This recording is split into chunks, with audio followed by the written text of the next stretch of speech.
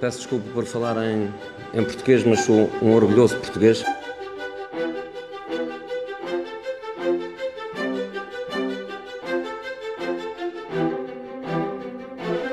I want to begin by congratulating Eduardo Soto de Mora.